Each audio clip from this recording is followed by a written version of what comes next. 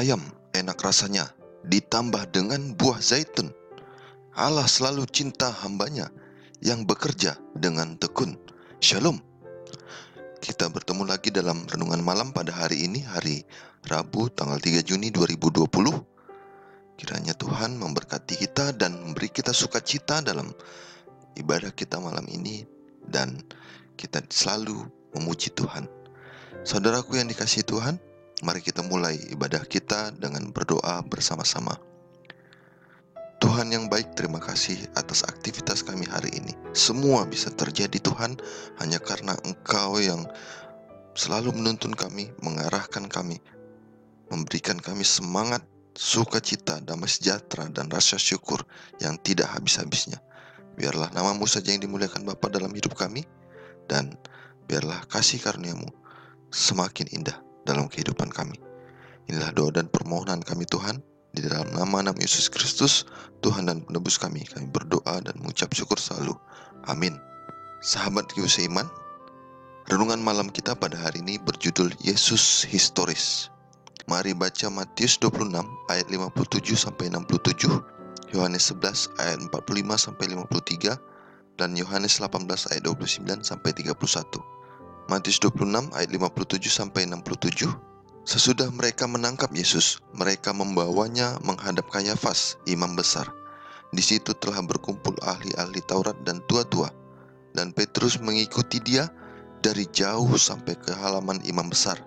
Dan setelah masuk ke dalam, ia duduk di antara pegawai-pegawai untuk melihat kesudahan perkara itu. Imam-imam kepala Malah seluruh mahkamah agama mencari kesaksian palsu terhadap Yesus supaya ia dapat dihukum mati. Tetapi mereka tidak memperolehnya walaupun tampil banyak saksi dusta. Tetapi akhirnya tampillah dua orang yang mengatakan, Orang ini berkata, Aku dapat merubuhkan baik Allah dan membangunnya kembali dalam tiga hari. Lalu imam besar itu berdiri dan berkata kepadanya, Tidakkah engkau memberi jawab atas tuduhan-tuduhan saksi-saksi ini terhadap engkau? Tetapi Yesus tetap diam. Lalu kata imam besar itu kepadanya, Demi Allah yang hidup, katakanlah kepada kami, apakah engkau Mesias, anak Allah atau tidak? Jawab Yesus, engkau telah mengatakannya. Akan tetapi, aku berkata kepadamu, Mulai sekarang kamu akan melihat anak manusia duduk di sebelah kanan yang maha kuasa dan datang di atas awan-awan di langit. Maka imam besar itu mengoyakkan pakaiannya dan berkata, Ia menghujat Allah, untuk apa kita perlu saksi lagi? Sekarang telah kamu dengar hujatnya. Bagaimana pendapat kamu? Mereka menjawab dan berkata, Ia harus dihukum mati. Lalu mereka meludahi mukanya dan meninjunya. Orang-orang lain memukul dia. Yohanes 11 ayat 45 sampai 53.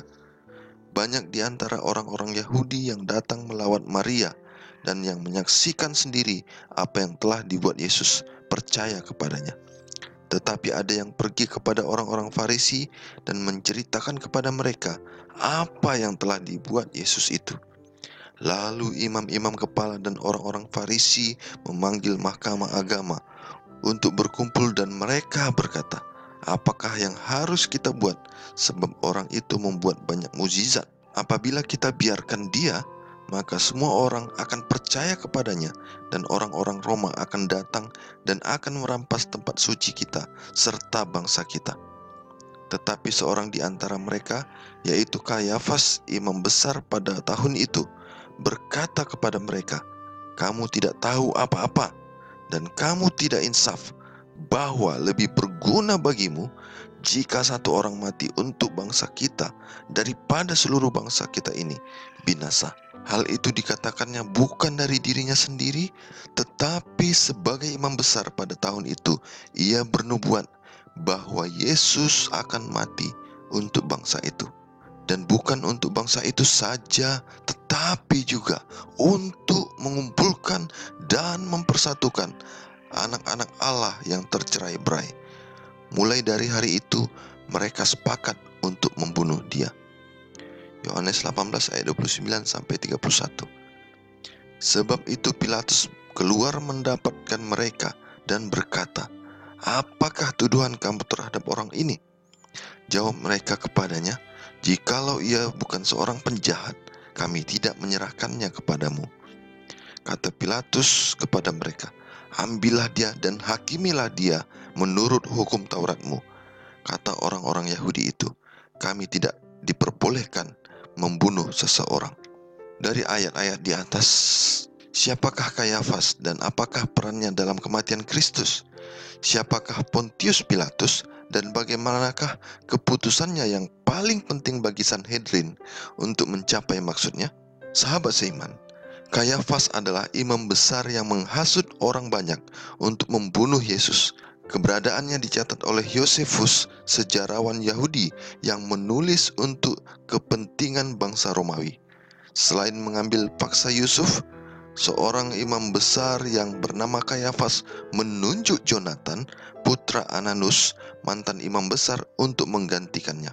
Dikutip dari buku Josephus Complete Works, Grand Rapids, MI Kregel Publication 1969 buku 18 bab 4 halaman 381 pada tahun 1990 sebuah makam keluarga ditemukan di selatan Yerusalem yang berisi 12 ossuarium atau peti tulang belulang Koin-koin dan tembikar dari makam tersebut berasal dari sekitar pertengahan abad pertama Masehi Osuarium yang paling banyak hiasannya dengan beberapa pasang tulang di dalamnya berisi nama Yusuf putra Kayafas.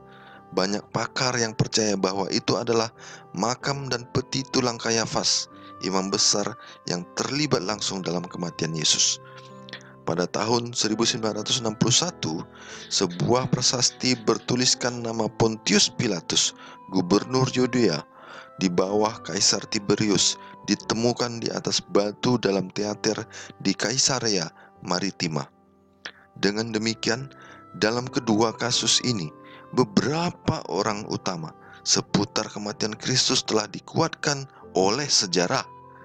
Sejarawan sekuler pada abad pertama Masehi juga berbicara tentang Yesus dari Nazaret. Tacitus, sejarawan Romawi, menulis tentang Kristus eksekusi kematiannya oleh Pontius Pilatus pada masa pemerintahan Tiberius dan orang-orang Kristen mula-mula di Roma. Pliny the Younger, seorang gubernur Romawi, menulis pada tahun 112 sampai 133 Masehi kepada Kaisar Trajanus menanyakan bagaimana ia harus memperlakukan orang-orang Kristen dia menggambarkan mereka sebagai suatu perkumpulan yang mengadakan pertemuan pada hari tertentu sebelum hari terang di mana mereka berkumpul dan menyanyikan lagu-lagu seperti kepada dewa. Penemuan arkeologis dan sumber-sumber sejarah ini memberikan kerangka tambahan non-alkitabiah bagi keberadaan Yesus yang disembah dalam 50 tahun pertama setelah kematiannya.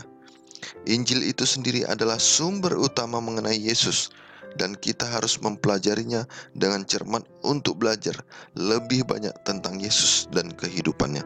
Walaupun selalu baik memiliki bukti-bukti arkeologis yang mendukung iman kita, tetapi karena bukti-bukti itu tidak selalu menolong, kadang-kadang ya, kadang-kadang tidak, mengapakah kita harus belajar untuk tidak bergantung pada bukti-bukti tersebut? Saudaraku yang dikasih Yesus, bukti-bukti arkeologis tetap ada di bumi ini, tetapi kapan ditemukan dan bagaimana hasil penemuannya bisa mendukung atau tidak kebenaran firman Tuhan. Tetapi bagaimanapun adanya, segala sesuatu akan tersingkap kelak di surga. Dan percayalah apa pun yang terjadi di dunia ini sudah disampaikan dalam Alkitab dan kita banyak melihat, menyaksikan dan mengalami sendiri kenyataan-kenyataan yang sesuai dengan firman Tuhan. Oleh karena itu mari kembali sesuai pelajaran kita selama ini dalam tiga bulan yang sudah sedang dan akan kita selesaikan ini. Bahwa Alkitab harus menjadi sumber utama pemahaman kita akan kebenaran firman Tuhan, firman Allah yang tertulis. Dan biarlah kita memuliakan Tuhan sepanjang hidup kita. Mari kita sama-sama berdoa. Terima kasih Tuhan untuk firman yang Tuhan berikan yang mengajarkan kami untuk tetap percaya pada firman-Mu dan secara pelan dan pasti arkeologi sekalipun pasti mendukung kebenaran firman Tuhan. Tetapi biarlah kami tetap percaya pada tuntunanmu Roh Kudus dan kebenaran firman-Mu Allah bahwa segala yang tertulis dalam Alkitab adalah kebenaran yang tidak dapat dibantah dan tetap berlaku, tetap akan terjadi sampai pada kedatangan Yesus kedua kali dan membawa kami kepada kehidupan yang kekal di surga. Biarlah kami tetap memuliakan Engkau dan hidup dalam kebenaran-Mu, menjadi saksi-saksimu dan memuliakan dan memperoleh kasih setiamu Tuhan. Inilah doa dan permohonan kami di dalam nama Yesus Tuhan dan penebus kami. Kami berdoa dan mengucap syukur selalu. Amin.